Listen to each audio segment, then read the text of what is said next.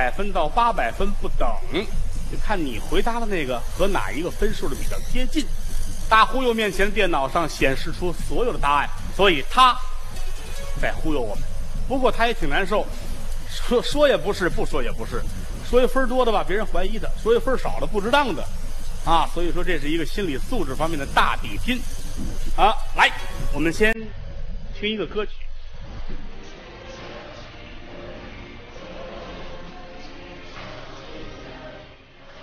啊，这是张学友唱的歌啊，《一千个伤心的理由》。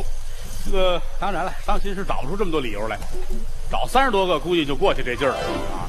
不过人们难免伤心，你在伤心的时候，不管什么理由吧，通通常你会有什么表现？你从小峰这开始，你伤心难过的时候，你会有什么表现？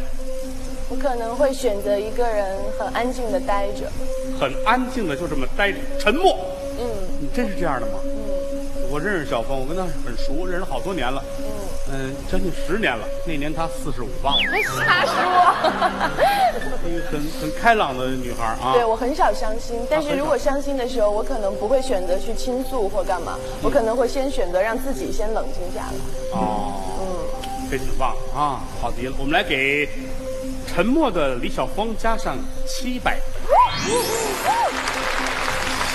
秉辰，嗯啊，在李晓峰难过的时候，你会干嘛？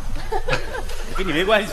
啊，与我没关系。其实如果说我在伤心的时候，可能会呃找朋友喝酒去跟他讲，呃找一个朋友来倾诉。嗯嗯嗯嗯，你走了，他坐那儿抹眼泪儿。啊嗯，找人诉说。对，好，给秉辰加上三百分。弦子，伤心时会怎么样啊？哭啊，啊伤心就哭，哭。爱哭吗？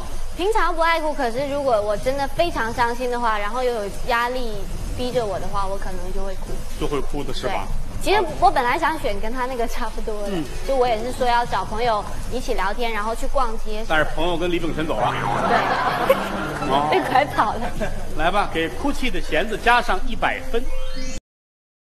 这世界很酷。